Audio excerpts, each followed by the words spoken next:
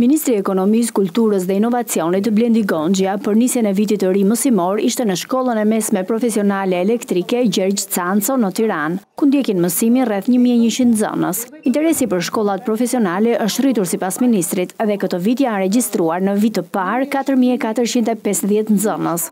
Sivjet kemi rekord në regjistrime në shkollat profesionale që shënon gati mbi 10% në po, përgjithësin në total. Deri tani të paktën shtatori është i hapur për regjistrime deri në fund të muajit. Kështu që ftoni shokë, njerëz të njohur.